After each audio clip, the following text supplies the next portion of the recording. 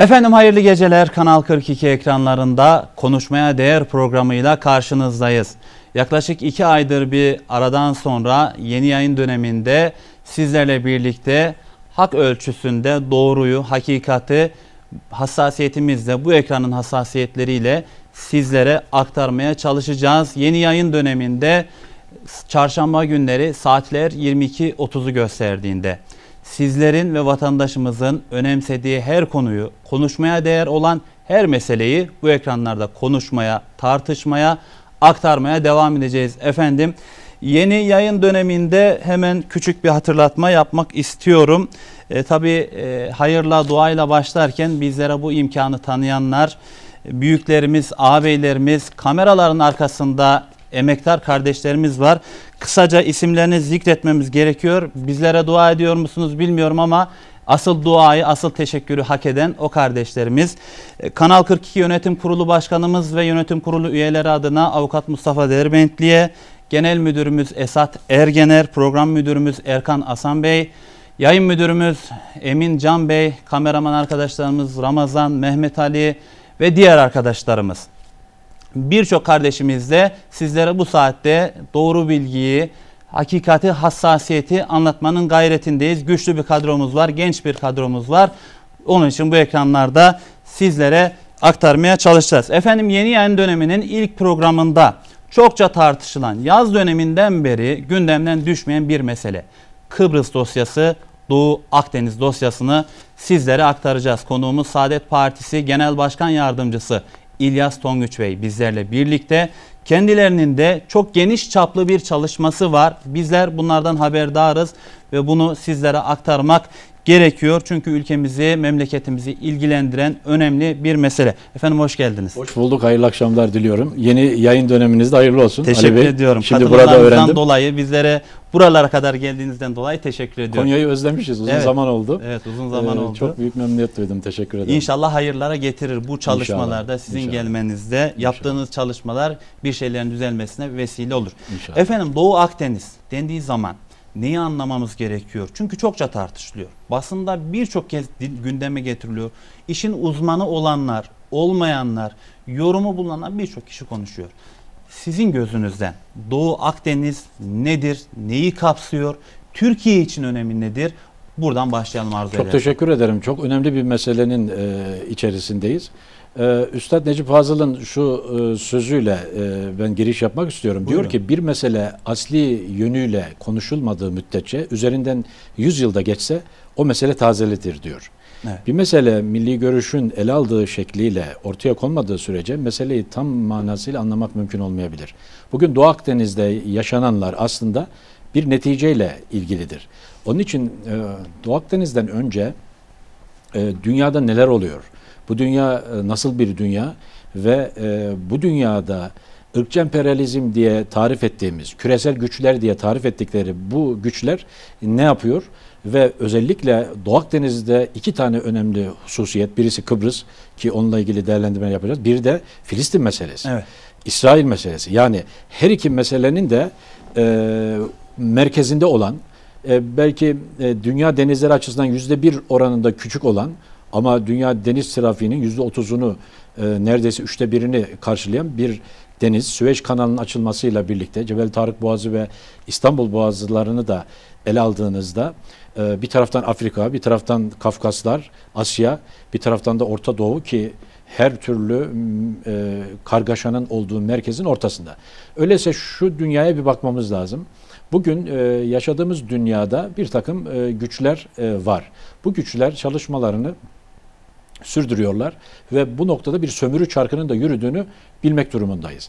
Bunun özüne baktığımız zaman özellikle e, milli görüş lideri merhum Erbakan hocamız e, bugün Konya'dayız elhamdülillah o milli görüşün e, çadırının orta direği diye tarif ederdi Evet. ve belde-i muhayyere diye tarif ederdi. Onun için Konya'mızı biz hala bu merkezde gördüğümüz için de bugün ayrıca Konya'da olmaktan büyük memnuniyet duyuyorum.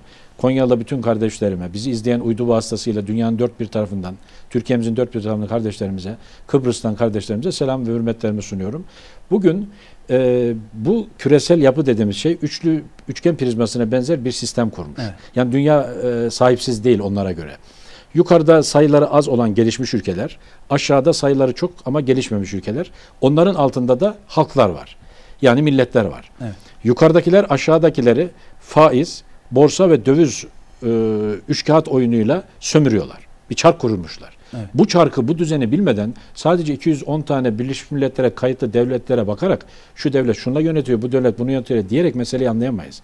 Onun hemen altına baktığımız zaman bir düzen var ve bu düzen küreselleşme dediğimiz, bizim milli görüşün 50 yıldır söylediğim Siyonizm e, dediğimiz bir gerçek var ve bu Siyonizmin bir planlaması var.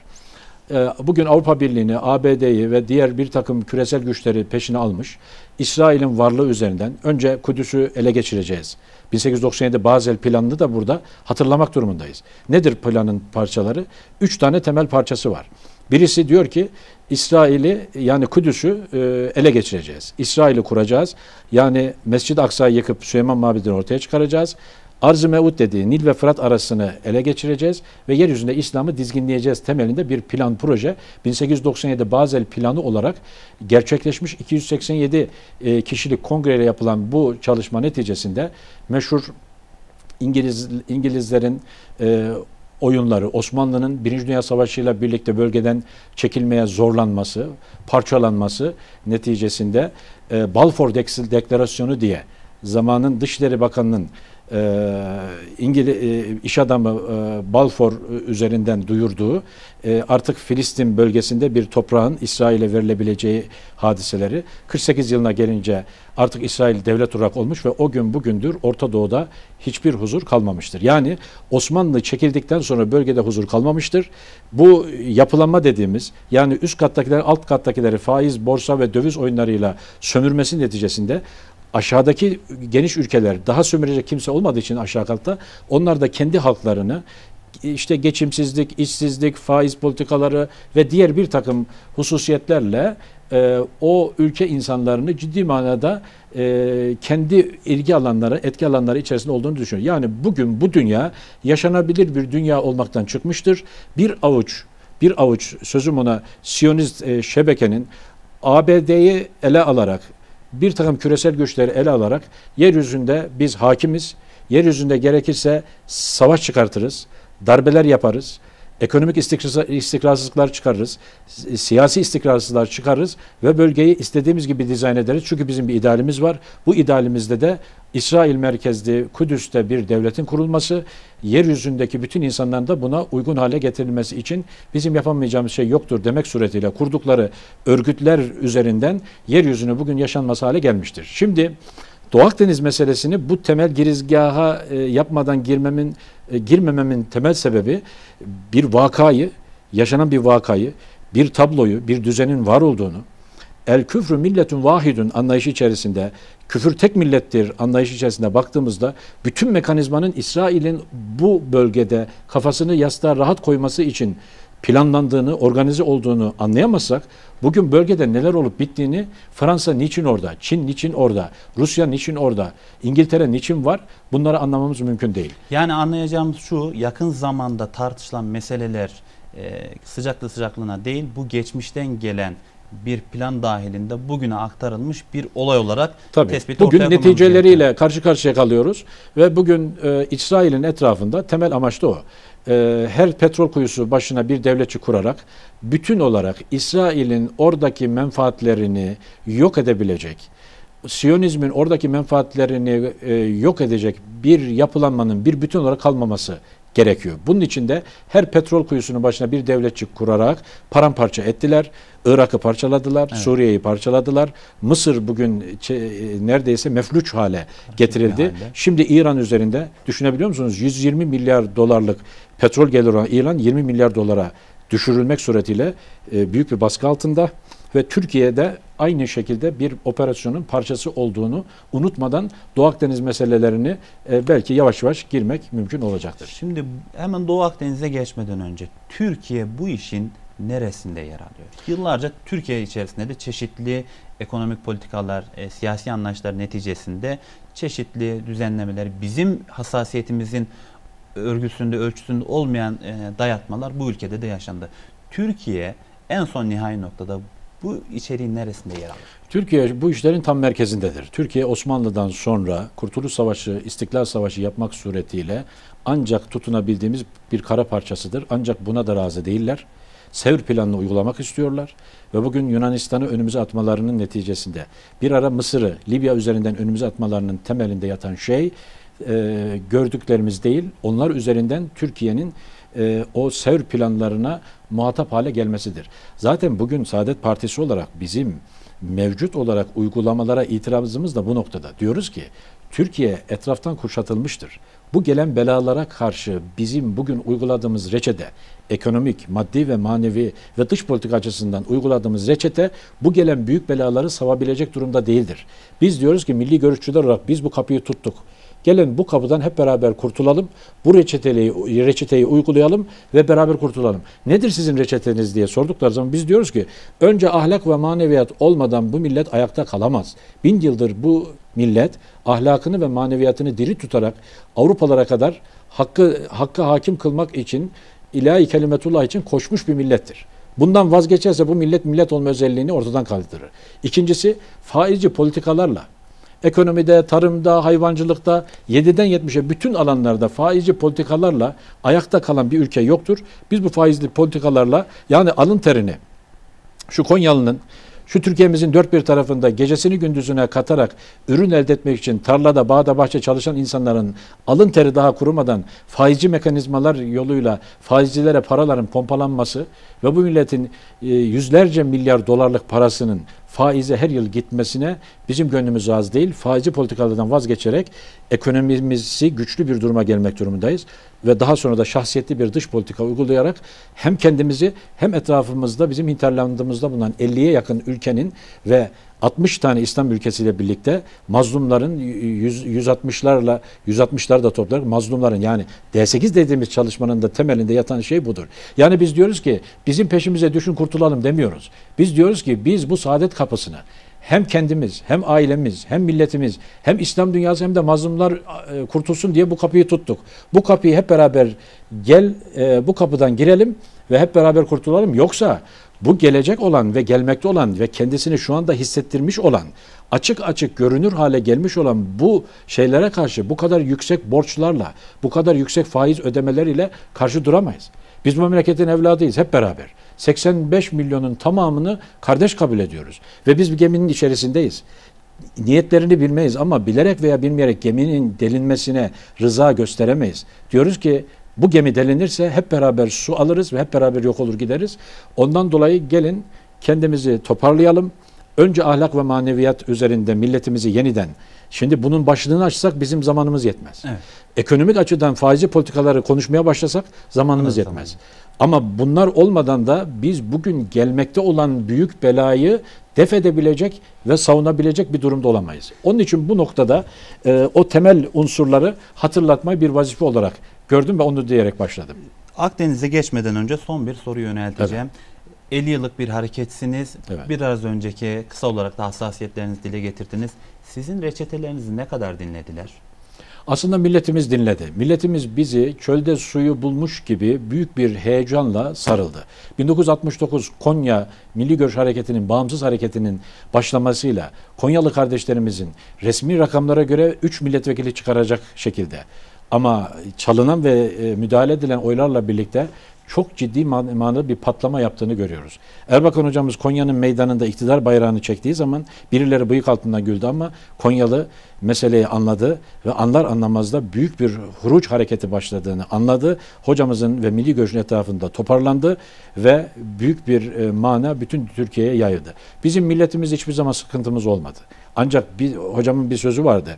Rahmet hocam derdi ki ey benim milletim beni anlayana kadar e, ben sana bir şey söylüyorum. Sen beni anlamakta biraz geciktiğin zaman Hans anlıyor, tedbir alıyor ve ben sana ilacı ulaştıramıyorum. Gelin bunu ondan önce anlayın ve hep beraber kurtulalım dediği odur. Ağır sanayi hamlesinin önüne ket vurulması, engellenmesi, e, manevi hamlelere ket vurulması ya darbelerle veyahut da iktidar oyunlarıyla yapılan bir takım uygulamalar, havuz sisteminin önüne geçilmesi, D8'lerin maalesef akı, akim bırakılması neticelerini görüyoruz ki evet bizi millet anladı.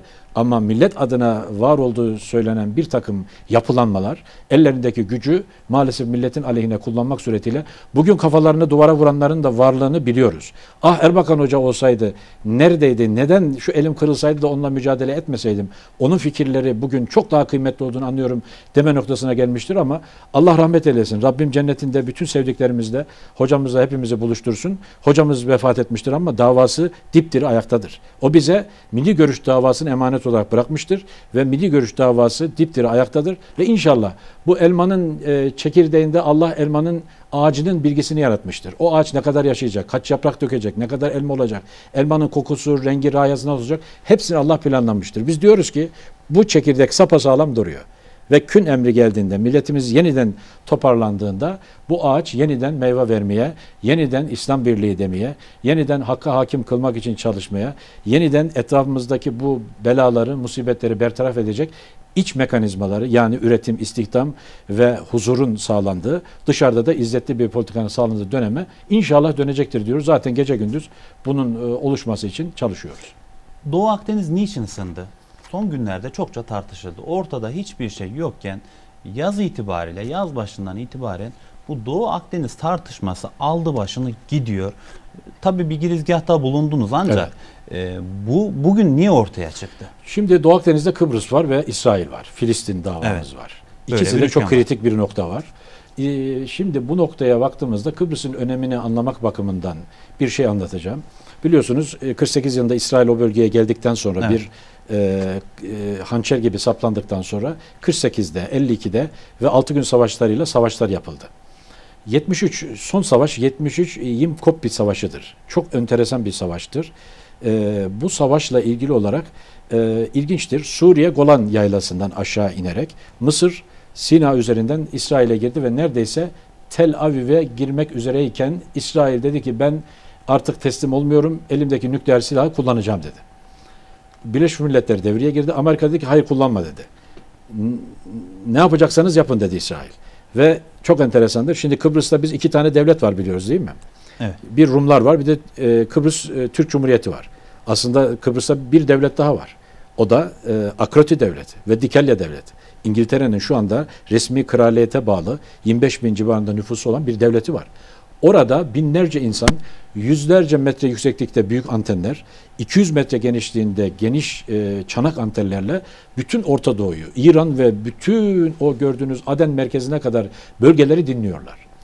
Amerika e, İsrail'in başı sıkıştığı anda hemen Kıbrıs'tan, Dikelya ve Akroti üstlerinden onlarca araçla ringler yaptı. Füzeler taşıdı, askeri araçlar taşıdı ve hafif ve ağır silahlar taşımak suretiyle e, Suriye'yi de e, dört günde Tel Aviv'e giren Suriye ve Mısır ordusunu bertaraf ederek artık bölgede İsrail'in aleyhine olabilecek bir devletin e, oluşmaması için gerekli tedbirler aldı. Şimdi Kıbrıs'ın niye yaradığını, İsrail'in güvenliği için Batı açısından ne anlama geldiğini e, anlamak bakımından bu savaş çok önemlidir. 73'ten sonra artık Araplar ferden veya toplu olarak İsrail'le karşı karşıya gelemediler. Sonra biliyorsunuz 79'da maalesef Irak'la İran savaşı başladı. 8-10 sene mahvoldu. Camp David anlaşmasıyla birlikte Enver Sedat'ın maalesef e, girişimleriyle ve bugün geldiğimiz noktada işte Birleşmiş Arap Emirlikleri, Bahreyn, Suudi Arabistan, Mısır bir tarafta İsrail ile birlikte anlaşmalar imzalama noktaya geldi ve Arap Ligi, İslam dünyası parça parça hale geldi. İşte İsrail ve Kıbrıs'ın ne kadar önemli olduğu bu açıdan önemlidir. Şimdi baktığımızda Ali Bey'im e, hidrokarbon kaynakları yani petrol, doğalgaz Evet. ve kömür diyoruz. Burada doğalgaz daha yoğunluklu olarak olduğu gözüküyor. Dünya rezervine baktığımız zaman 198 trilyon metreküplük bir doğalgaz rezervi dünyada var. Evet. Bölgede ithalat eden yani de- bölgede e, bu e, doğalgazı satan ülkelere baktığımız zaman Rusya'da 38 trilyon metreküp doğalgaz var rezerv olarak. İran'da 34 trilyon metreküp var. Katar'da 24 trilyon metreküp var. Bunlar aynı zamanda da e, ithalat e, ithalatçı, ihracatçı yerler. Yani üretiyorlar ve satıyorlar. Başka ülkelere satıyorlar. Peki burada Doğu Akdeniz'de enerji üzerinde bir kavga var. Doğalgaz kavgası var değil mi? Ben size şimdi rakamları vereyim. En kuvvetli saha e, zor sahası denen Mısır'ın deltasının hemen Nil'in e, Akdeniz aktığı bölgede e, yeni sahalarla birlikte toplam 2 trilyon e, metreküp doğalgaz rezervi tespit edildi. Bu da denizin altında. Evet. İsrail'in Tamar bölgesi ve e, Levatan bölgesi diye bildiğimiz bölgeye baktığımızda ki e, ilk önce Gazze'de enteresan 99'da bulunmuştur. Gazze Arapçada da gaz demekmiş. Gazze'nin açıklarında ciddi miktarda 30 milyar metreküp civarında e, bulundu ama Gazze halkı yani Filistinler onu çıkaramıyor. Orada da 1 trilyon metreküplük bir doğal gaz var. Bir de Afrodit sahası diye İsrail anlaşma, anlaşmazlık olan Güney Kıbrıs'ın açıklarında bir sahada da e, yaklaşık 150 milyar metreküpe yakın bir yer buldu. Yani toplam 3,5 trilyon metre, metreküplük bir şey gözüküyor. Şimdi 198 trilyon metreküp rezerv var. O Doğu Akdeniz'de bütün kavga 3,5 trilyon metreküplük bir gaz için mi ki 2000 metre aşağı ineceksiniz. Dikişsiz borular bulacaksınız. Bir de bunu işte e, bir takım kurulan sistemlerle evet. Önce Girit'e, oradan Yunanistan'a, oradan İtalya'ya, oradan Avrupa pazarlarına yöneteceksiniz. En az 20-25 milyar dolar parayı suya atmak zorundasınız. Özel dikişsiz borular üretmek zorundasınız. Bunun mümkün olmadığını herkes biliyor. Onlar da bildiği için de çok fazla üstüne gitmiyor. Peki 198, tri, 198 trilyon metreküp dünya rezervine karşı 3,5 trilyonluk küçücük bir rezerv uğruna Amerika, Avrupa Birliği ülkeleri, Fransa dahil olmak üzere, İngiltere, Rusya ve Çin dahil olmak üzere dünyanın bütün küresel güçleri burada ne arıyor? Demek ki mesele sadece hidrokarbon kaynaklarının e, çıkarılıp Olmadı. çıkarılıp e, Avrupa'ya veya başka yerlere satılması değil. E, başka bir iş var. İşte başka iş dediğimiz o meşhur e, Armagedon diye tarif ettikleri Batılıların evet. e, Müslümanlar merheme kübra diye büyük karışıklık diye tarif ettiği hususlara yönelik bir e, yoğunluk olduğu görüyor. Onlarca savaş gemisi şu anda Akdeniz'de neredeyse birbirine sürtecek derecede kaynıyor. Bugün Yunanistan'ı önümüze getiriyorlar. Burada bir parantez açmak istiyorum. Yunanistan'ı Avrupalıların e, desteğiyle biliyorsunuz İzmir'e çıkarttılar. Evet. 15 Mayıs'ta çıkarttılar. Peki İngiliz e, onlar çıkarttığı zaman Ege Denizi'nde hangi donanma vardı? İngiliz donanması bekliyordu. Peki İngiliz donanmasının arkasında hangi donanma vardı? Dikkat edin. Yunanistan İzmir'e çıkmış. Hemen Ege'de ben buradayım diyor. Devam et diyor. İngiliz donanması var. İngiliz donanmasının arkasında da ABD donanması vardı. Bugün aynı şeyi alın bugünkü hadiseye göre önümüzde hani bizim Anadolu'da insanlarımız ya Yunanistan dediğinde ki bir vursan yarısı boşa gider. Doğru da arkada Avrupa Birliği var. Arkada Amerika var ve Amerika'nın çevremizi kuşatması var. Bu hususla alakalı olarak yavaş yavaş şeye girelim. Çünkü Doğu Akdeniz'i konuşurken Türkiye'nin kuşatılmışına bakmamız lazım. Irak'ın üçe bölünmesi ki bu siyah raporlarına kadar girmiştir. Suriye'nin şu anda üçe bölünür hale gelmesi. Dikkat edin. Irak ve Suriye parçalandıktan sonra e, hemen sınır nereye çıkıyor? Akdeniz'e çıkıyor. Akdeniz'de kim var? Kıbrıs var. Yani bugün Kıbrıs'ı konuşurken, Doğu Akdeniz'i konuşurken Irak'ın parçalanmasını, Suriye'nin parçalanmasını, Lübnan'daki yaşanan istikrarsızlıkları ve oradan çıkan şeyi, Irak petrollerinin doğalgaz boru hatları vasıtasıyla e, alınıp dünya pazarlarına Doğu Akdeniz vasıtasıyla gönderilmesi neticesinde 150 ila 200 milyar e, civarında paranın bölgeye gireceği söyleniyor. Bölge karışık.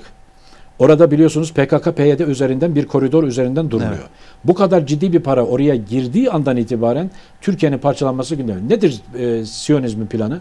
Türkiye'den bir parça, İran'dan bir parça, Irak'tan bir parça ve Suriye'den bir parçayla birlikte bölgeye de bir ikinci İsrail'in istikrarsızlık olarak ortaya konması bizim 35-40 yıldır terör belası dediğimiz şeyin aslında arzu mevudun üzerinde bir planın bozulmasıyla ilgili olduğu hususunu da unutmadan e, bu planları bozmak üzere bir çalışma yaptığımızı sözüm ona müttefikimiz, stratejik ortağımız Amerika'da bu konuda şey yapıyor. Peki Amerika neyi hesap ediyor?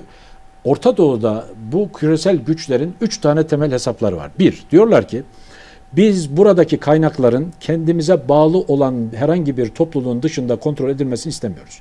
Dikkat edin, e, petrol ve doğalgaz kaynaklı olan ülkeler genelde çok küçüktür. Orta Doğu'da. Evet. Katar, Kuveyt, bakın hep küçüktür. Suud'u bir kenara bırakıyorum. Hı. O zaten tamamen teslim olmuş. Onun hikayesi de ayrı.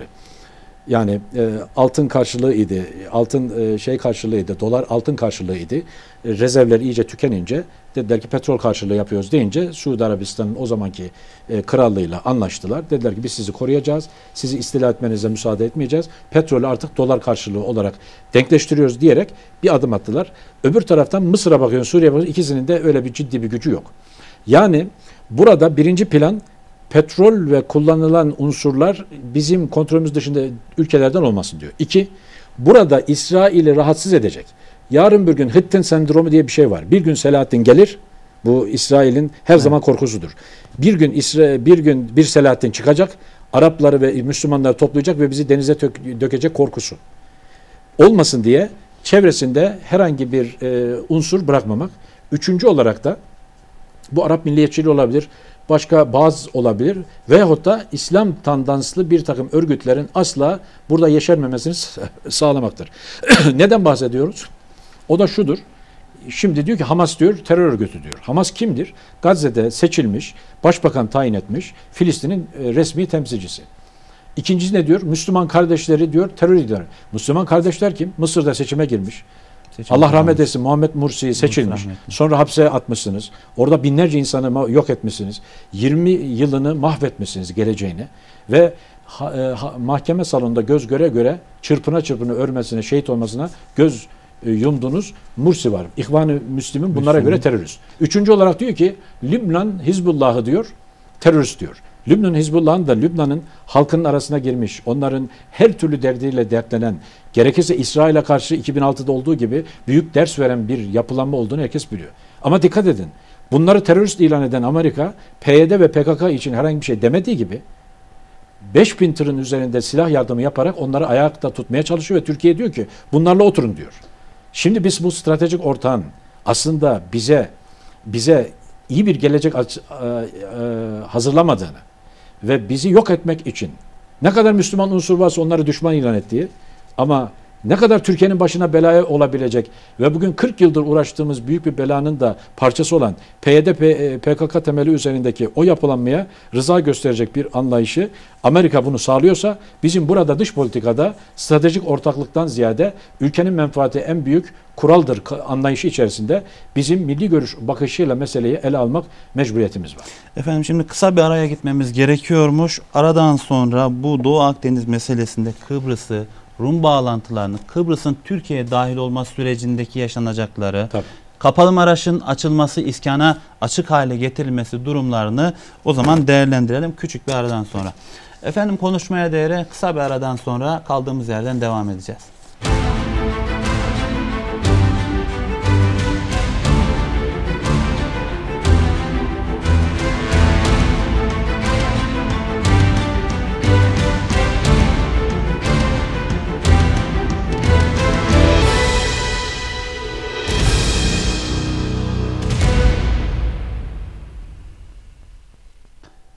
Efendim kaldığımız yerden devam ediyoruz konuşmaya değere. Ekran başına yeni geçen izleyicilerimiz için konuğumuzu hemen aktaralım. Saadet Partisi Genel Başkan Yardımcısı İlyas Tonguç Bey bizlerle birlikte Kıbrıs meselesini, Doğu Akdeniz meselesini aslında konuşuyoruz. Bu bölümde biraz daha o bölgede yapılan araştırmalar var, anketler var ki çok önemli. Onlara e, sizlere aktarmaya devam edeceğiz. Efendim biraz önceki kaldığımız yerde e, Kıbrıs'la Doğu Akdeniz bölgesinde küresel güç, küresel ülkelerin niye yer alıyor yani? Tamam ülke Türkiye var, e, Filistin'in veya diğer ülkeler bu Akdeniz'de yer alabilir, çalışmalar yapabilir.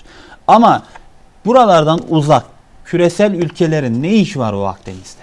Bu noktada e, tabii e, biraz önce dünya gaz rezervlerini açıkladım. Ona göre Evet. kö- çok küçük ama bu çevre ülkeler ve Türkiye'miz açısından çok kıymetlidir. Çünkü Türkiye neredeyse %99 gaz ihtiyacını 50 milyar metreküp olarak e, dışarıdan temin ediyor.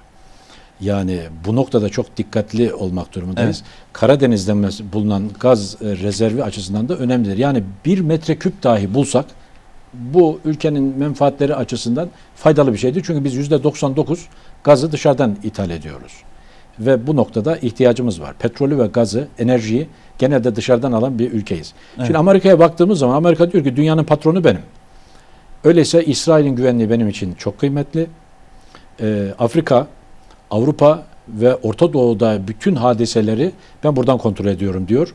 Dikelya ve Akroti üsleri üzerinden İngiltere orada bin tane e, gelişmiş, yetişmiş o e, elemanlar çalıştırırken Amerika da burayı kullanıyor.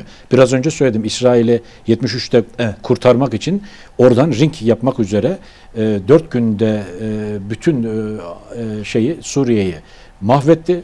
Yani Yeni Gora çekilme zorunda kaldı. Mısır e, Sina'yı kaybetti bu olaydan sonra ve bir daha toplanıp gelemediler. Demek ki bölge çok kıymetli ve Amerika burada var olmaya devam edeceğim diyor. Avrupa Birliği Avrupa e, özellikle Kur, özü- Kuzey Ruhr bölgesi dediğimiz bizim Türkiye'den gidenlerin orada biraz kömür madeni vardır. Onun dışında Avrupa'da enerji yok. Evet. Onun için Avrupa enerjiye dışarıdan bağımlı ve Rusya'dan biliyorsunuz her yıl e, ciddi e, gaz alımı yapmaktadır. Yani büyük oranda ihtiyacı olan enerjiyi, gaz ihtiyacını e, şeyden karşılıyor. Rusya'dan karşılıyor. Libya'dan biraz karşılıyor, Cezayir'den biraz karşılıyor ama ana şey diyor ki burada eğer yeteri kadar rezerv bulunabilirse ben buradan da faydalanırım diyor.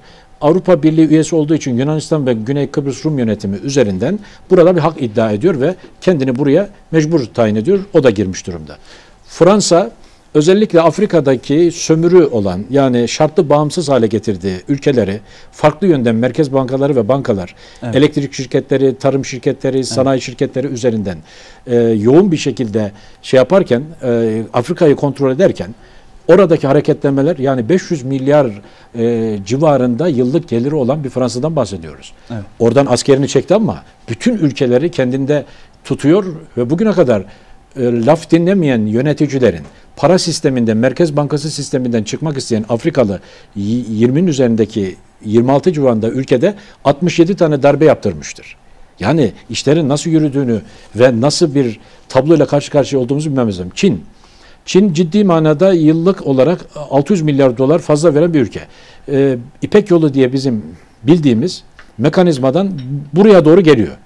Bir kuşak bir yol projesi diye bir proje başlattı. Ve gele gele artık Akdeniz'e kadar geldi. Enerji ihtiyacını karşılamak istiyor. Öyle bir noktaya geldi ki Pirene Limanı'nda kiraladı. Belgrad tarafında e, raylı sistemler yapmak suretiyle bölgelerde yatırımlar yapıyor. istihdamlar sağlıyor. E, Hayfa limanında çalışmalara başladı. İtalya'da bazı limanları kiralamak suretiyle Çin artık bölgede varlığını ispat ettirdi. Rusya uzun zamandan biliyorsunuz tarihi bir şey olarak anlayış olarak sıcak denizlere inme hususu vardı. Bu da Suriye karşılıklığıyla ortaya çıktı. Suriye'nin şimdi Tartus limanında bir üs kurdu. Orada hem liman olarak hem de havaalanlarında kullanıyor. Bir taraftan da şimdi Libya'da da bir üs kurma girişimleri var. Rusya da bu bölgeye gelmiş oldu. Yani Rusya'nın Suriye'ye destek vermesi ayrı bir mesele ama e, temel gaye tamamen farklı Akdeniz'e Yani inmesi şu anda. Akdeniz'e indi ve orada Tartus limanında iyice yerleşti ve artık kimse ses çıkaramaz bir noktaya geldi. Libya'da da bir üs kurmak için çalışıyor. Yani bütün ülkeler burada, İsrail de burada, Filistin davası burada ve bunun tam ortasında Kıbrıs'ımız var. Kıbrıs da şu anda ikiye bölünmüş bir şekilde şey yapıyor. Buradaki sıkıntıyı şöyle almak durumundayız. Biliyorsunuz 74 e, Kıbrıs Barış Harekatımızla birlikte oradaki e, durum fiili hale, devlet haline gelmiştir. Ve GKR'ye dediğimiz güney kısımla e, kuzeyde Türklerin olduğu bir e, yere gelinmiştir. Nereye gelindi burada? Biliyorsunuz 59-60 Zürih ve e, Londra anlaşmalarıyla orada bir Kıbrıs devleti kuruldu. Fakat 63 yılına geldiği orada e, Rumlar hükümeti yıktı ve katliama başladılar. Türkiye bir şeyler yapmak istedi. Bilirsiniz e, tarihte Johnson mektubu diye tarihe geçen bir meşhur mektup vardır. Evet. Bizi azarlayan, istiskal eden. O zamanki Başbakan e, İnönü'ye yönelik olarak. Sonra Demirel döneminde 67 yılında bir gidildi şöyle göründü ama yine netice alamadı. Ama 74 Kıbrıs Barış Harekatı'na yani milli görüşün ortak olduğu o döneme geldiğinde e, Erbakan hocamızın o zamanki Genelkurmay Başkanı Semih Sancar'a ifade etmiş olduğu e, hocam iki defa bu asker Taşucu limanından çıktı. İskenderun limanında tekrar boşaltmak durumunda kaldı. E, bir daha gideceksek biz bu askeri bir daha savaştıramayız deyince sana asker sözü gideceğiz ve hepsini alacağız diyor. Hocamızın kanaati hepsini almaktı. Biliyorsunuz orada Evet. Hala Sultanımız var. Ebu Ayyub Hazretleri ne kadar Türkiye'miz için kıymetliyse Hala Sultan Hazretleri de e, Peygamberimizin annesi Hazreti Amine'nin süt kız kardeşi olan Hala diye yani Arapçada hala demek e, kız kardeş anlamına Evet. geldiği için Hala Sultan diye bir Ümmü Haram diye bilinen o hanımefendi Efendimizin kendi evinde ziyareti sırasında uyuduğunda rüyasını anlatıyor ve kendisinin de orada olacağını işaret ediyor ve Larnaka'ya gelindiğinde Hazreti Osman döneminde e, gemiden inerken atının düşmesi neticesinde orada şehit oluyor ve, ve Erbakan hocamız oraya kadar gidilmesini çok arzu ediyordu. Hala Sultan'ı ele almamız gerekiyor derdi. Osmanlı oraya saygıdan dolayı 1571'den Venediklerden Kıbrıs'ı aldıktan sonra hep oradan geçerken gemiler e, selamla, toplarla selam vererek Hala Sultan'ı selamlayarak geçerdi. Ebu Ayyub el-Ensar Hazretleri'nin bizim için kıymeti çok mühim. Hala Sultan Hazretleri de yine Kıbrıs için maneviyatı olan, maneviyatı açısından önemli bir yerdir. Yani Kıbrıs bizim için bir sabit uçak gemisi gibi kıymetlidir. Kıbrıs'ı ele alan Süveyş'i kontrol eder. Libya'yı, İsrail'i, Filistin'i, Suriye'yi, Anadolu'yu, Kuzey Mağrip ülkelerini ve Avrupa'nın bir kısmını kontrol eder. Kıbrıs'ın tanınmama sebebi Avrupa'da, diğer ülkelerde, e, küresel ülkelerde tanınmama sebeplerinden bir tanesi de bu diyebilir miyiz? Şimdi 19- 1699 Karlofça Anlaşması'ndan sonra gerile, gerileye, gerileye, gerileye Kurtuluş Savaşı ile ancak durabilen ama ilk defa 1974'te Milli Görüş lideri Erbakan hocamızın Evet. e, dirayetli duruşuyla bunu çok bilerek söylüyorum, seçerek söylüyorum. Biraz sonra söyleyeceğim. Dirayetli duruşuyla ilk defa bir taarruz harekatı başlanmıştır. Batı bunu e, asla sindiremedi. Yunanistan hiçbir zaman bunu sindiremedi ve hiçbir zaman orada bir Türk varlığını kabul etmediler. Etmedikleri için e, tanımıyorlar, tanımak istemiyorlar ve bu noktada ellerinden gelen bütün gayretle dünya çapında yani diyorlar ki burası zaten bizim, burayı gasp ettiler, biz bunu bir gün alacağız, alacağımız için de tanımaya gerek yoktur diye özel tedbirler aldığını söylemek durumundayız. Neden Erbakan hocamıza burada atıf yapıyorum milli görüşe? Çünkü bir, İngiliz belgeleri açıklandı. İngiliz belgeleri diyor ki eğer MSP kanadı Erbakan olmasaydı Kıbrıs Barış Harekatı yapılamazdı diyor. Bir. İkincisi yine Ecevit ölmeden önce Genel Başkan Yardımcılarından birisi açıkladı. Diyor ki MSP olmasaydı biz Kıbrıs Barış Harekatı'nı yapamazdık diye ölmeden önce DSP'nin o zaman evinde topladığı başkanlık divanına bunu açıklıyor. Yani bir dirayetle 1699'dan beri gerileyen bir millet ilk defa taarruz etmiştir hakkını almıştır ve orada fiili bir durum ortaya koymuştur. Keşke tamamını alıp sonra pazarlıklarla bir takım e, şeyler olsaydı ama ortağın e, dirayeti buna yetmedi. Orada yaşanan birçok hadise var. Zamanımız el verirse belki girebiliriz ama şunu deme, şunu ifade etmemiz lazım. Bugün Doğu Akdeniz konumuz olması hasebiyle Evet. onun bağlamından çıkmamak için e, çok detaya girmek istemiyorum. Hı hı. Çünkü bu başlıkların her biri birkaç saatlik bir konuşma konusudur. Yani Kıbrıs Milli Görüş Harekatı bir konudur. Ciddi bir konudur ve detaylı bir şekilde e, bunların aktarılması, yeni nesillere de ulaştırılması gerekir. Ama biz kısa kısa bölümler halinde kardeşlerimizin gündemine sokmaya çalışıyoruz. Şimdi Kıbrıs'la alakalı çalışmanıza gelelim. Evet. Belli anketler var. İsterseniz ondan önce şu e, gene Güney Kıbrıs Rum yönetimi kendi başına adanın tek sahibi gibi bugünkü krizin bir parçası da odur. Kendi kendi e, adanın sahibiymiş gibi gitti. 2003 yılında Mısır'la münhasır ekonomik bölge anlaşması yaptı. Yani dedi ki bu alan içerisinde münhasır ekonomik bölge 200 mil yaklaşık Evet. 370 kilometre. Önünüzde herhangi bir kara parçası, ana kara, ana kara yoksa oranın yeraltı, yerüstü bütün varlıklarını işletme, e, yeraltı, yerüstü kaynaklarını çıkarma ve kullanma imkanına sahiplik hakkı veriyor. Adaların bir münhasır ekonomik bölge yapma hakkı biz 1982 Birleşmiş Milletler Deniz Hukuku Sözleşmesi'ne göre mümkün olmadığı halde Güney Kıbrıs Rum yönetimi sanki adanın tek sahibiymiş gibi 2003 yılında Mısır'la, 2007 yılında Lübnan'la, 2010 yılında İsrail'le e, münhasır ekonomik bölge anlaşması yaptı. Lübnan'da Türkiye hemen uyandı. Lübnan'da parlamentonun onayına fırsat vermeden onu orada akim bıraktı ama diğer anlaşmalar yapıldı. Şimdi YKR'ye orada Tabii Birleşmiş Milletler de buna herhangi bir ses çıkarmadı. hiç çıkartmadı. Halbuki orada iki tane toplum var. iki tane ayrı devlet var. 2000 1974 harekat onun için aktif bir dönemdir. İlk defa Kıbrıs harekatıyla birlikte bu millet Kıbrıs'ta bir huruç harekatı başlatmıştır. Hani proaktif döneme giriyoruz diyorlar ya. Aslında bu proaktif dönem dedikleri dönem Kıbrıs harekatıyla birlikte bizzat yapılmıştır. Sonra e, peşinden e, peşinden gelen şeyler. 2011 yılında gelindiğinde Türkiye Petrolleri Arama e, Ortak e, TPAO'ya Kıbrıs yetki verdi. Dedi ki bu bölgelerde benim alanlarım içerisinde arama yetkisi veriyorum dedi. Bu da çok önemlidir. Bu da proaktif bir dönemdir. Yani ilk defa Kıbrıs Türkiye'ye TPO aracıyla ruhsatlandırma verdi. O ruhsatlandırmaların bir kısmı şimdi GKR'nin açıkladığıyla çakıştı. Şimdi bizim sismik gemimiz olan Oruç Reis ve Barbaros Hayrettin gemileri, daha sonra sondaj gemilerimiz olan Fatih, Kanuni ve Yavuz e, gemilerinin mücadele ettiği 5 tane fırkateynle birlikte koruduğumuz o mevcut hadise bununla alakalıdır. Yani bizim ilan ettiğimizle GKR'nin ilan ettiği, Rumların ilan ettiği alan çakışıyor. Yunanistan da şimdi ona e, destek çıkmak bakımından ileri geri adaları da gündeme koymak. Halbuki Yunanistan'ın Doğu Akdeniz'e sınırı yok. Adalar üzerinden var ama adalarında yet, e, münhasır ekonomik e, bölge ilan etme hakkı yok. Boş yere Rumlar üzerinden bir kargaşa çıkartmak istiyorlar. Yalnız karşımızda ne Rumlar var ne de Yunanlılar var. Toplamda Amerika var, AB ülkeleri var. Öyleyse bu noktada 2011'deki bu adımlar üzerine biz de adımlar atmaya başlıyoruz. Şimdi geliyorum en önemli noktaya. Eğer anlam planını kabul etmiş olsaydı Rumlar, biliyorsunuz maalesef Kıbrıslı Türkler orada propagandalar neticesinde e, aldandılar. Bir oyla, bir oy, bir evetle Avrupa'ya bağlan, bir evetle dünyaya bağlan e, Evet. dediler. İş imkanları gelecek, şu gelecek, bu gelecek diye propagandalar yaptılar. Şimdi tespit edildi. Avrupa Birliği ülkeleri 30 milyon avro, Amerika 30 milyon dolar civarında paralar harcayarak orada çalışma yapıldı ve %65 Türkiye kanadında KKTC'de evet çıktı, %35 hayır çıktı. Erbakan hocamız ben o zaman Milli, Milli Gençlik Vakfı Genel Başkanıydım. Bana talimat verdi.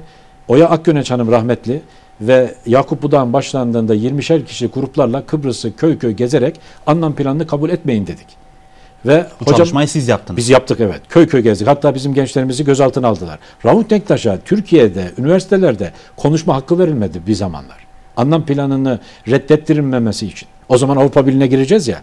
Nasıl olsa gireceğiz anlayışıyla. Evet. Türkiye maalesef 2011'e kadar böyle bir garip bir hal içerisindeyken Bugün İstanbul Sözleşmesi'ni de başımıza Avrupa Birliği uyum yasaları çerçevesinde bugün kurtulamadığımız şeylerde buralara girme, girmeyeceğim ama bilelim ki bunların hepsi bir Avrupa sevdası üzerinden başımıza gelen işlerdi ve Rumlar Allah bize Rumlarla yardım etti dedi Erbakan hocamız. Eğer Rumlar da evet deseydi, reddetmeseydi, buna evet demiş olsaydı biz bugün burnumuzu Akdeniz'in dışına çıkaramazdık. Bugün bütün bu işleri yapabiliyorsak Rumların orada e, %75 ile ben bu planı kabul etmiyorum hayır demesinden dolayıdır. Şimdi bizim tabi Anadolu'da Türkiye'de ister istemez ya Kıbrıslılar acaba Anadolu'yu artık sevmiyor mu? Niye böyle yaptı? Halbuki biz orada kanaat önderleriyle görüştük. Evet. İlim adamlarıyla görüştük. Anket yaptık, yüz yüze görüştük. Biraz sonra inşallah sonuçları hep beraber göreceğiz. Bu noktada gördük ki aslında Türkiye'nin telkinleri onları bu noktaya getirmiş. Erbakan hocamız o zaman bir televizyon programında askere, genelkurmaya niçin arabanın önüne yatmıyorsunuz diye bir şey söylediğini anladım. Ve o zaman o zaman asker de anlaşılan hükümetin e, politikalarına uygun bir şekilde ses çıkarmadı. Kıbrıslılar da diyor ki Anadolu ses çıkarmayınca, hükümetler ses çıkarmayınca girin diye. Ha sonradan yetkililer biz baldıran zehiri içecektik az daha demek durumunda kaldığını da biliyoruz. Ama bugün bu yaşadığımız çıkmazın da temelinde bunların yattığını ve zaman kaybettiğimizi, bu zaman içerisinde de Rumların Yunanistan'la birlikte habire hamle yaparak hamle yaparak bugün içinden çıkılmaz durumun geldiğini görüyoruz. Ama geçmişte yaşanmaz. Bir noktada e, mesele e, yeniden döndürülmüştür ve belli bir istikamete e, oturmuştur. Bundan sonra mevcut şartlar içerisinde yoğun bir şekilde e, önümüze bakmak durumundayız. Biz iki yıldır e, Oya Hakkönenç Hanım'la başlayan, Allah rahmet eylesin, o vefat ettikten sonra e, Profesör Doktor Celalettin Sencer İmer hocamız ki kendisi Mevlana Hazretleri'nin torunlarındandır. E, enerji e, yönde uzmandır. Erbakan hocamız ve Özal döneminde e, danışmanlık yapmış ve e, bu konuları yoğun e, şey yapan bir hocamızdır. Kendileriyle birlikte bir yüksek lisans çalışması yaptık. E, Doğu Akdeniz enerji politikalarının Kıbrıs üzerinden Türkiye etkisi konuluydu. Ve beraber Türkiye Kıbrıs'ta bir anket yapılması ve bu yaşanan olaylarda acaba Kıbrıslılar ne düşünüyor? Bu yaşananlara ne düşünüyor? Bir anlam planı geldi. Elma şekeri gibi uzattılar. Dediler ki bunu hep beraber e, alın, hep beraber kurtulalım. Ama bütün maksat neydi? Türk askeri oradan çekilsin Kıbrıs'tan ve garantörlük hakkı ortadan kalksın idi. Bu temel üzerinde anlam planı çok şükür e, Allah bize Rumlar vasıtasıyla yardım ederek o beladan kurtardı. Şimdi yeniden acaba bir gaz üzerinden Burada bir doğal gaz kubu bulundu. Hidrokarbon kaynakları var. Gelin bunları hep beraber kullanalım. Beraber e, oturup kalkalım. E, Türkiye'yi buradan bir şekilde dışlayalım deme noktasında bazı adımlar atılabilir mi? Ki biz biliyoruz ki batılı ülkeler ABD başta olmak üzere yoğun bir şekilde sendikalar üzerinden orada sivil toplum kuruluşları üzerinden bir takım mali çalışmalar yapıyor. İşte 11 Ekim'de çok ciddi bir seçim var Kıbrıs'ta. Evet. 11 tane aday var ve orada federasyonu savunanlarla artık bizim 50 yıldır federasyon diye diye takatımız kalmadı. Biz Kıbrıs'ız, KKTC'yiz. Öyleyse biz müstakil hareket etmek zorundayız. E, demek suretiyle bir ikili durum ortaya çıkmış oldu. Bu noktada halkımızın görüşlerini de ortaya koymak, oradaki Kıbrıs halkının ne, düşün, ne düşündüğünü anlamak bakımından bir anket çalışması gerçekleştirdik. Bu anket 324 kişiyle gerçekleşti ama ancak 190 bin seçmen var şeyde. Kıbrıs'ta. Kıbrıs'ta. Binde ikiye tekabül ediyor. Türkiye ortalamasını ben kardeşlerimiz daha iyi anlasın diye söylüyorum. Türkiye ortalamasında 11 bin kişiyle yapılmış bir ankettir. Siz, basın, siz basınla işti- iştigalsiniz. 2500-3000 kişilik denek Türkiye'de bir ciddi bir şeydir. Sonuç ankettir. Evet. Şimdi Türkiye şartlarında 11 bin kişiyle yapılmış bir ankettir. Demografik olarak bütün e, Kıbrıs'ı içine alan bir ankettir. İsterseniz şimdi ona girelim. Tabii İsterseniz arkadaşlar hazırsa onu da bir yandan da ekrana verelim. Evet. Kıymetli çalışmalarınız var. Ee, Kıbrıs'ta ne istiyorlar? İsterseniz sizin de dosyanızı izleyicilerimize aktarmış Arkadaşlar eğer olalım. Arkadaşlarımız ben de buradan- ekrana yansıtalım. Kıbrıs'ta sizin yaptığınız çalışmaları, kıymetli başkanımızın yaptığı çalışma, çalışmaları e, ekrana aktarmış olalım. bu çalışma yüz yüze yapılmıştır. Evet. E, bilenler iyi bilir. SSP, SP, SSPP diye şey var. E, bir sistem var. O Evet. sistemle analizler değerlendirmiştir. Ve bu noktada e, çapraz analizlerle birlikte netice ortaya konmuştur. Şimdi oraya baktığımızda Kıbrıs alan çalışmasında Evet. çalışmanın kimliğini biz orada aslında veriyoruz. E, 27-28 Eylül 2019'da yapıldı. Yani bir yıl aşağı yukarı oluyor. Beş tane yer var. Lefkoşa, Girne, Gazi Magosa, Lefke ve Güzelyurt'ta. Biraz önce söyledim. Türkiye'de 11 bin kişiye tekabül eden, orası şartlarında 324 kişiyle yapan. Yani e, grafikler geldiğinde biraz daha net şey yapacak. Arkadaşlar devam etsinler. Burada iki tane şey var. Birisi e, e, oradaki Lefkoşa, Güzelyurt, Lefke, Magosa ve Girne'nin nüfus oranlarına göre bizim denek sayılarımızı veriyor. Eşit oranda verilmiştir. Evet. Orada e, mavi ve kırmızı var. Oraya dikkat etmelerinizi e, ben özellikle rica ediyorum. Çünkü şudur. 74'ten önce orada olanlarla 74'ten sonra gidenlerle ilgili bir durum var. Deniyor ki 74'ten sonra gidenler yani Kars'tan, Ardahan'dan, İzmir'den, Konya'dan, Adana'dan, gidenler Mersin'den gidenler var. Onların aklı fikri zaten Türkiye diyorlar. Eğer burada 74'ten önce olan şurada şu alternatif şu önemli hususu da hatırlatmak istiyorum. Kıbrıs Rum kesimi Kıbrıs Cumhuriyeti e, pasaportu adı altında e, 74'ten önce orada olanlara Kıbrıs vatandaşlığı vermiş. Yani Avrupa Birliği'ne gidip gelebilecek imkanlar vermiş. Evet. Deniyor ki bunlarla eşit oranda eğer denekleri e, şey yapmazsanız e, güvenilirliğinde zedelem olur. Biz de ona dikkat ettik ve oradaki hemen e, mavi olan kısım e, 74'ten önce oraya yerleşenleri oluşturuyor. Yüzde 54. Kırmızı olan kesim ise 74'ten sonra Türkiye'den Kıbrıs Barış Harekatı sonrasında Anadolu'dan giden aileleri oluşturuyor. Yerleşen Onlar da aileleri. yüzde 46. Dikkat ederseniz orada 74'ten önce yani Kıbrıs e, Rumların Kıbrıs Cumhuriyeti pasaportu verdiği insanların sayısı daha fazla. Evet. Böylece vatandaşlık bağlamında bu çok önemli. Çünkü e, oradaki bu durumu e, iyi hesap etmek durumunda olalım diyorlar. Devam edelim. Burada e, cinsiyet dağılımına baktığımız zaman Kıbrıs'ta 50 e, 47'ye 53'tür kadın erkek şeyi. Erkekler daha fazladır. Bizim burada da kadınlarımızla bir mülakat yine yapılmıştı denekler üzerine ama kadınlar daha çok fazla siyasi ve bu tür hidrokarbon kaynakları ve gelişen olayla ilgili çok fazla katılmak istemediklerini de tespit etmiş durumdayız. Devam Evet. edelim. Yaş dağılımını burada görüyorsunuz e, Ali Bey'im. Orada %26'sı 18-24 yaş, %19'u 25-34 yaş, %18'i 35-44 yaş, %17 45-54 yaş, %12'si 55-64 yaş, %8'i de daha ileri yaşlar olduğunu görebiliriz. Devam edelim. Aslında toplumun değerine veren yaş e, sınırlarıyla Büyük oranda oluştu. şey yapılmıştır. Evet. Meslek dağılımlarını ben hemen aktarmak istiyorum. Özel sektörde işçi, kamuda memur veya işçi, esnaf, uzmanlık gerektiren meslek sahibi, ev hanımı, emekli ve öğrencilerden oluşmaktadır. Devam edelim. Eğitim seviyesi. Evet, okur yazar değil e, demişler. Diplomasız okur yazarız demişler. Yani diplomamız yok okur yazarız. Ortaokul mezunuyuz. Lise mezunu, üniversite mezunuyuz. Buradaki oranlar da lise mezunu %29, üniversite ve üzeri 41, diplomasız olanlar, okur yazar olmayanlar %3 civarında, ortaokul mezunu %15, ilkokul mezunu %12 gibi oranlarla şekillenmiş durumda. Şimdi ilk soruyu sormuşuz. Arkadaşlar devam edebilirler. Kıbrıs yerine, şu soru çok önemli bir sorudur. Kıbrıs yerine Kıbrıs Türk Cumhuriyeti denilmesine ne desiniz dedik. KKTC yerine. Şu Çok anda önemli KKTC bir soru aslında. Evet. Dedi ki e, KKTC yerine bu hususta Türkiye Cumhuriyeti e, Kıbrıs Türk Cumhuriyeti denmesine ne dersiniz? Burada %59'luk kesim evet bizim ülkemizin ismi Kıbrıs Türk Cumhuriyeti olsun diyor. Büyük Yüz- bir oran. %19'u fikrim yok diyor bu konuda görüş beyan etmiyor.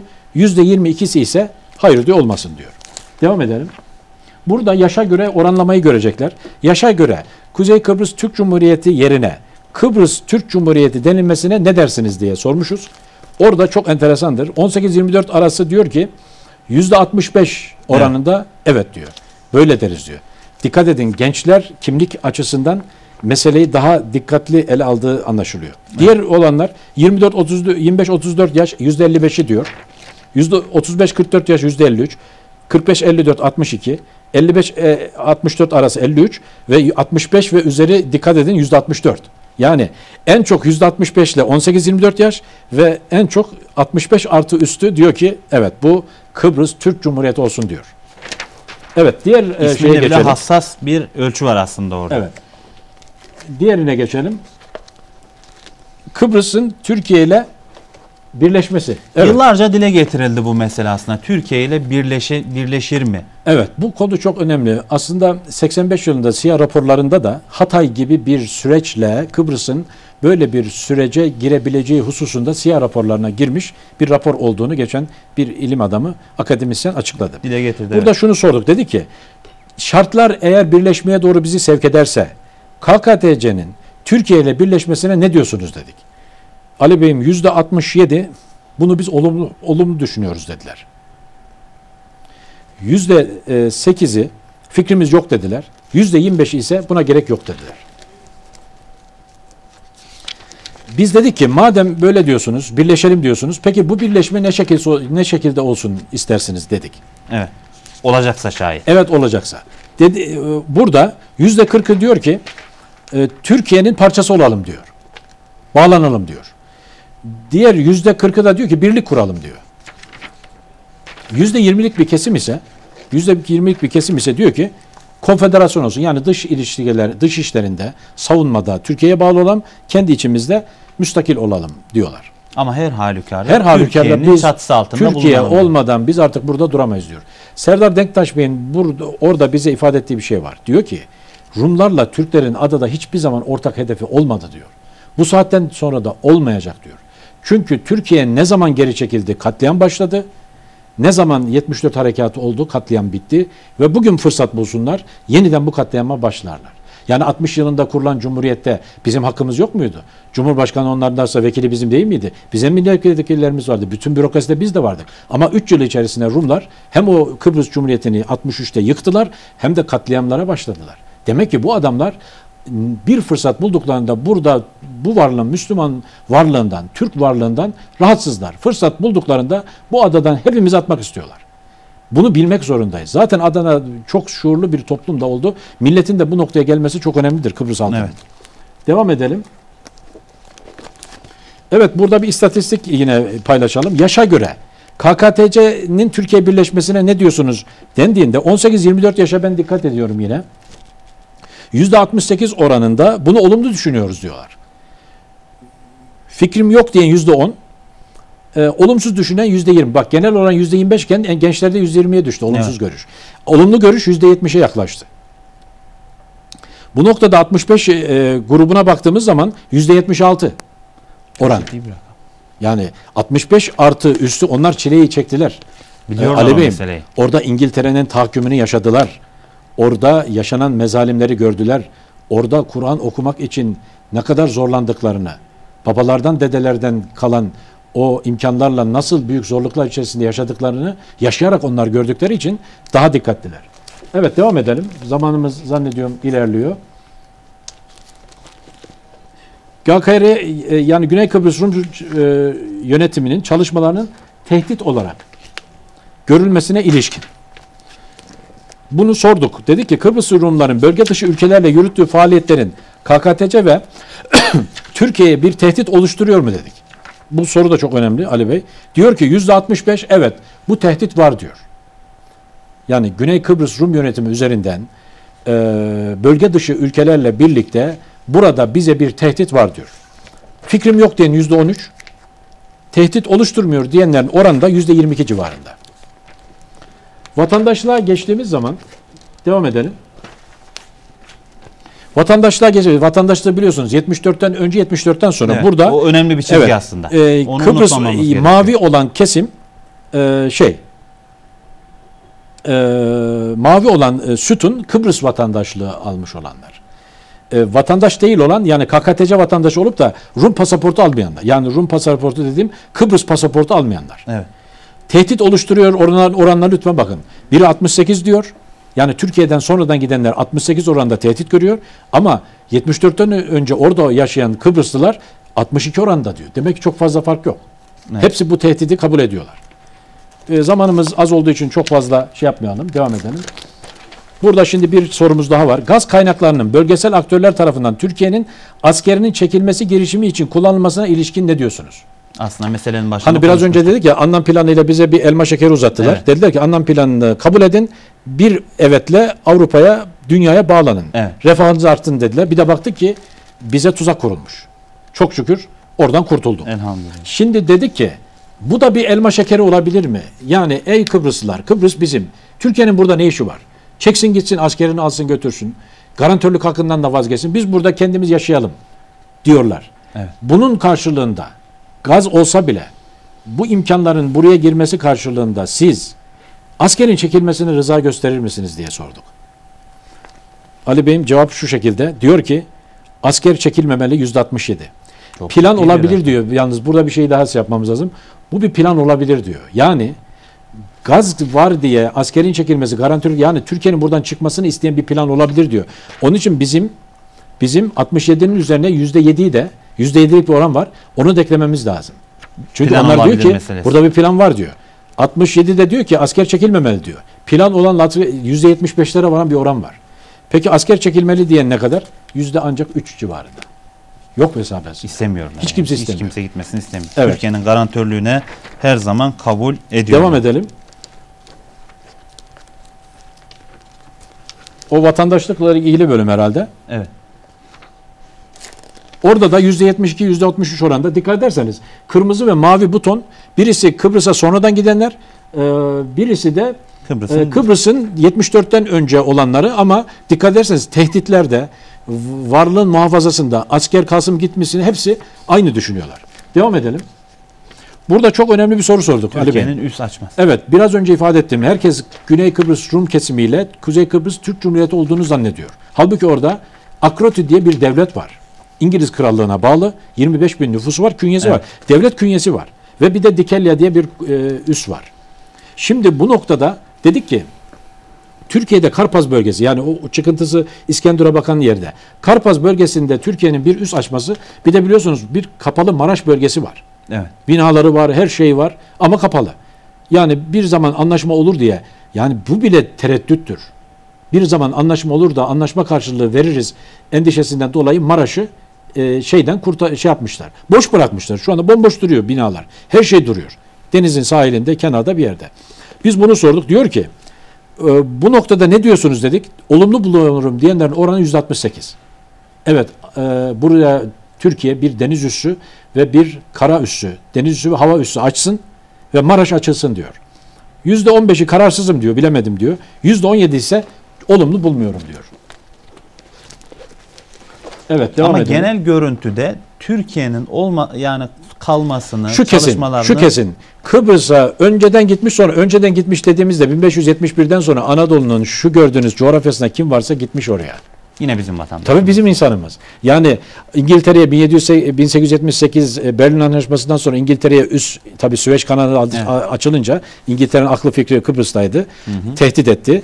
Rusya'ya karşı 1878 93 harbi diye milletimizin bildiği o harpte yenik çıkınca İngiltere şart koştu. Sana yardım etmem için İngil e, Kıbrıs'ı ver bana dedi. Oraya asker çıkardı ve biz oradan çekildik. E, şey bize 22 bin e, civarında kese altın karşılığında orayı üst şey olarak aldı.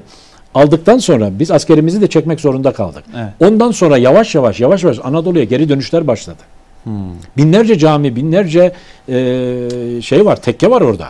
Bizim insan yani buradan gitmiş insanlar. Ama e, 70'li yıllara doğru daha sonra gelince işte şöyle böyle derken 74 harekatıyla böyle bir kanaat olduğu için her ikisinin de kanaatinin Türkiye olmadan artık burada bir şey yapılmayacağını Kıbrıs halk, KKTC halkı karar vermiş durumda. Kesin bir olarak dile getiriyor. Bu anlam planının tam tersi bir hadise demektir. Bu çok Evet. önemli bir şeydir.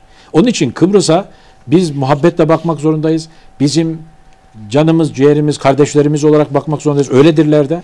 Ve Kıbrıs bizim için bir e, tabii bir uçak gemisi mesabesinde ve Kıbrıs'ı kaybettiğiniz zaman sizin Akdeniz'de 1875 kilometrelik alanda olta atacak yeriniz yok. Evet. Bu kadar önemli ve mühim bir noktada bu sonuçların çıkmış olması elbette önemlidir. Devam edelim. Buyurun. Son şey miydi acaba bu? Evet bu da Evet, bu da e, şey askerin çekilmesiyle alakalı olan son Bölümü. e, bölümümüz. O bölümde de e, yüzde olarak askerin e, sütun e, grafik çerçevesinde yüzde iki iki buçuk civarında asker çekilsin ama yüzde yetmiş yetmiş beş oranında askersiz olmaz. Türk askeri dursun diyor. Şeye rağmen gaz gaz olmasına rağmen Hani elma şekeri tutuyorlar ya. Bak artık gaz bulduk. Kendimiz yiyelim, kendimiz içelim. Diyor ki biz bunu biz bu Rumları tanırız. Fırsat bulur bulmaz hemen bizi denize dökmek için yine katliam yaparlar. Yine bizi yok etmeye çalışırlar. Öyleyse bizim kaderimiz Türkiye'nin kaderiyle aynıdır diyorlar. Ki tecrübelerle de Tecrübelerle yaşanmış. bunu yaşayarak gördüler. Ben de. Şimdi vaktimiz daralıyor tabii e, konu çok ama bu anketlerden sonra Kıbrıs yani bugün seçimler olacak yakın zamanda önemli de bir seçim aslında. Yani Türkiye açısından da Kıbrıs'ın geleceği açısından da önemli bir yere teşkil ediyor.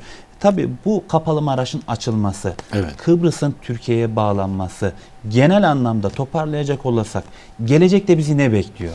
Şimdi bölgenin ve nasıl davranmalıyız? Biz bu olayları nasıl okumalıyız? Burada e, görünen o ki e, bir e, yoğun bir karışık döneme giriyoruz. Evet.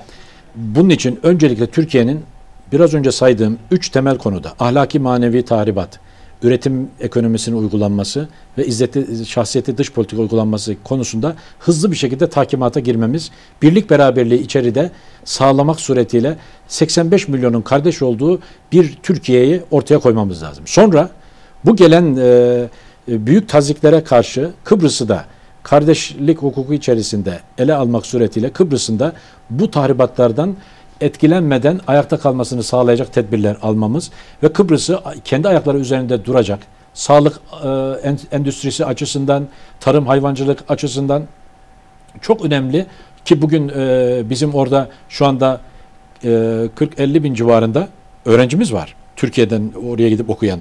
Yüzün üzerinde üniversite var. Evet. Üniversiteler e, ülkesidir, şehridir. Kıbrıs'ın e, şehirleri.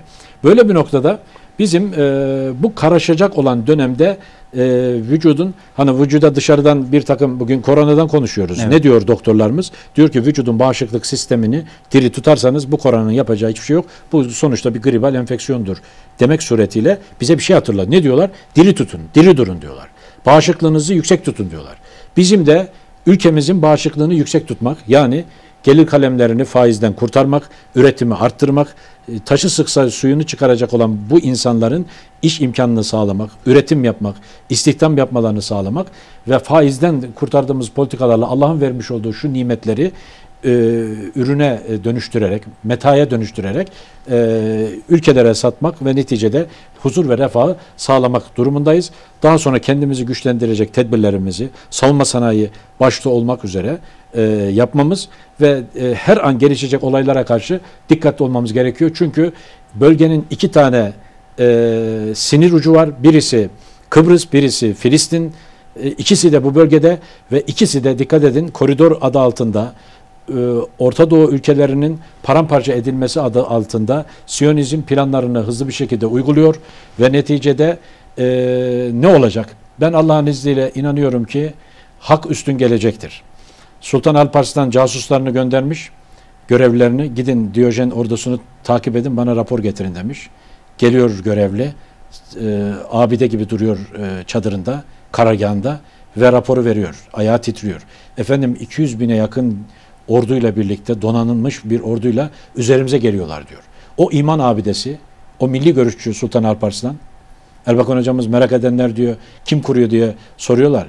Biz Sultan Alparslan, Nizam-ı Mülk, Sultan Fatih, Sultan Yavuz'la kurduk diyor ya. O milli görüşçü, e, zihniyetli Sultan Alparslan hiç istifini bozmuyor. Biz de onlara doğru gidiyoruz diyor. Yanında 10 ila 15 bin kişi yok bile. Ya buna rağmen o zafere Üzerimize mi geliyorlar? Biz de onlara doğru gidiyoruz. Allah'ın izniyle sonunda hakkı üstün tutanlar galip gelecektir. Bunun için uğraşıyoruz. Hep beraber meselenin ne olduğunu biliyoruz. Erbakan hocamızın bize çok önemli bir vasiyeti vardır. Siz nasıl bir zemin üzerinde yürüdüğünüzü anlar bilirseniz o zemin üzerinde nasıl ayakta kalacağınızı da öğrenirsiniz. Yürüyün demiştir. Biz de Allah'a sığınarak bu temel e, esaslar üzerinde yürümeye devam edeceğiz. Ben bu vesileyle Kıbrıs'ta yapılacak olan seçimlerin de hem Kıbrıs halkı için hem ülkemiz için hayırlar getirmesini bölge içinde diliyorum. Orada artık federasyon kavgası yapmanın bir anlamı kalmamıştır. Rumlarla bir federasyon, bir devlet olma imkanı kalmamıştır. Artık KKTC e, yeni bir yönle, yeni bir yola gitmek mecburiyeti vardır. Kıbrıs Türk Cumhuriyeti ilanını yaptıktan sonra, ismi değiştirdikten sonra yeni bir e, yola girmek mecburiyetindedir. Bunu e, söyleyenlerin ayakta kalacağı, netice alacağı bir sonuç elbette bizi sevindirecektir. İnşallah. Ben bu vesileyle bizi bu geç saatlere kadar dinleyen başta Konyalılar, Konya'nın çünkü misafiriyiz Evet. e, ve bütün Türkiye'mizin e, illerinden kardeşlerimize, e, yayınımızın ulaştığı e, Avrupa başta olmak üzere bütün dünyadaki kardeşlerimize en derin sevgi, saygı, hürmetlerimi sunuyorum. Allah'a emanet olunuz. Eyvallah. Katılımlarınızdan dolayı teşekkür ediyoruz. Çok önemli ve kıymetli bir çalışma olmuş. Ümit ediyoruz e, maksat hasıl olur. E, Ülkemiz adına bu çalışmalar bizlere bilgilendirir. Gelecek nesillere bir ışık olur ve kazanan Türkiye olur. Kazanan İslam coğrafyası olur. Çalışmalarınıza tekrar kolaylıklar Teşekkür diliyorum ederim. efendim. Efendim konuşmaya değeri tamamlıyoruz. Konuşmaya değerde bugün Saadet Partisi Genel Başkan Yardımcısı İlyas Ton- Tongunç Bey bizlerle birlikteydi. Doğu Akdeniz'e dair önemli bir çalışma vardı. Yeni tamamlandı. E, aktarmak gerekiyordu çünkü Kıbrıs'ta seçimler var. Vatandaşlarımız bu karışıklığı e, çok karmaşık dillerle dinliyordu. Bugün kendilerinden bir siyasi bakış ile, milli görüş açısı ile sizlere aktarmaya çalıştık. Haftaya görüşmek dileğiyle efendim. Hayırlı geceleriniz olsun.